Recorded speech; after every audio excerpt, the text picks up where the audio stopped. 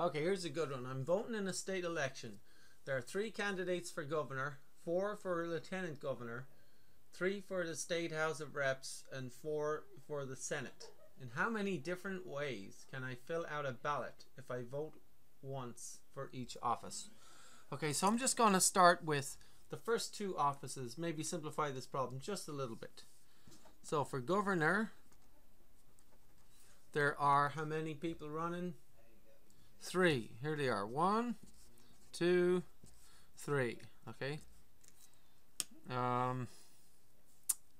Actually, why did I make them all the same color? I should have made them different colors. I should have called them A, B, C, shouldn't I? Candidate A, candidate B, candidate C. That would be better. There we go. Learn as we go. Candidate A, B, and candidate C. Right? Then we've got lieutenant governor.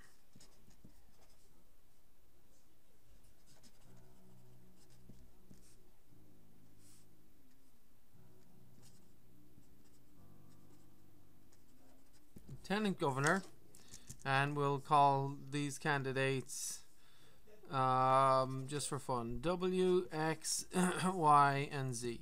Okay, so let's just take um, how many possible ways um, can we vote for governor and then lieutenant governor? And we'll do the rest later but I'm just going to take these two first just to understand the problem a bit. So so let's say we we decide to vote for candidate A for governor.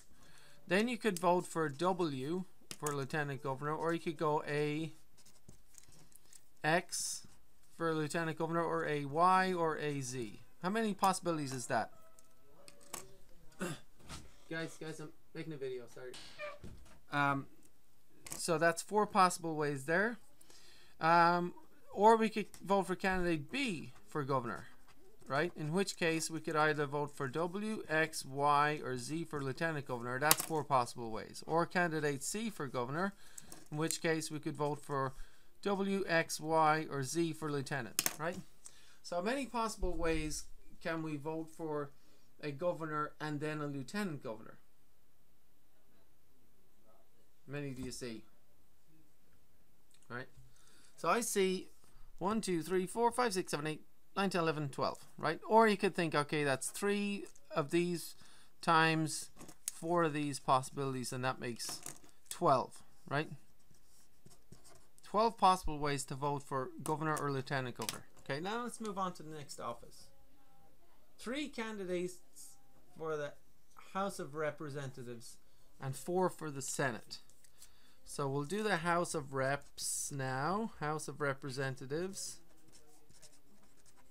Three candidates. Okay, so let's call these guys candidates one, two, and three. So the trick is I could take any one of these possibilities of governor, lieutenant governor, right? Such as, I'll pick one, BY. So I could vote for B for governor, Y for lieutenant governor, and 1 for House of Reps, or I could go B, Y, and then 2 for the House of Reps, or it could go B, uh, Y, 3 for House of Reps.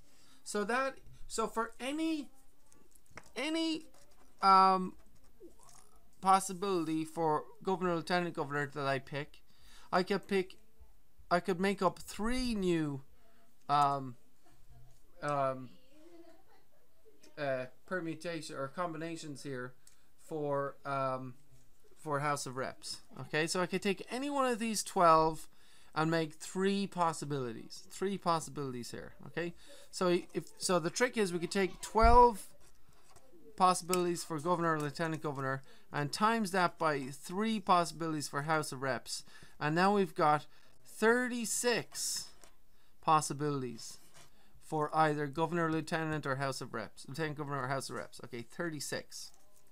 Does that make sense? Think about right, right. Draw out more diagrams if you need to.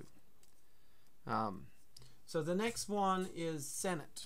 Okay, Senate is next. How many possibilities there?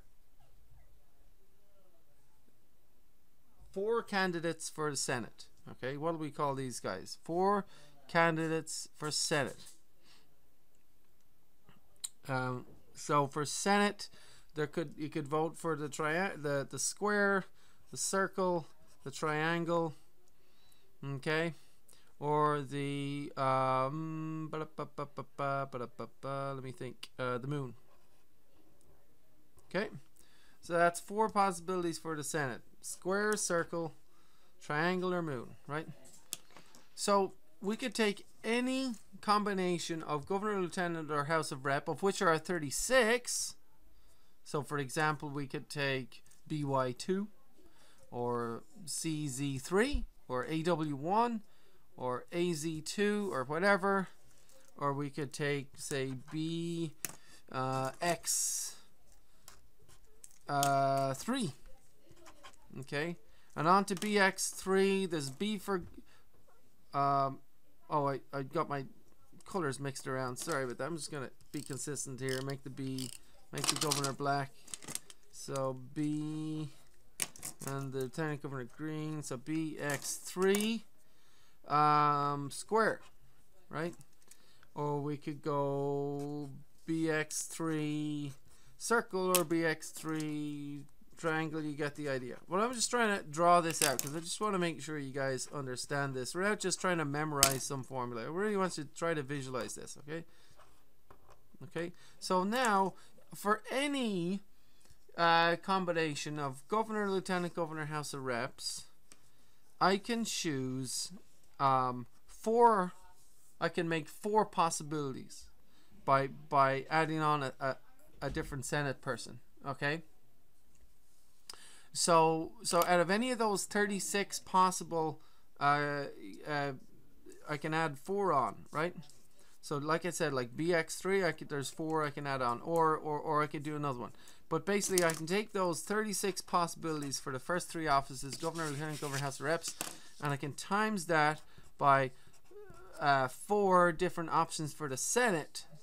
Okay, and that makes how many possibilities now? Well, 4 times 6 is 24.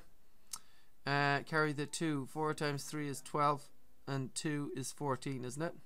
So now we have 144 possible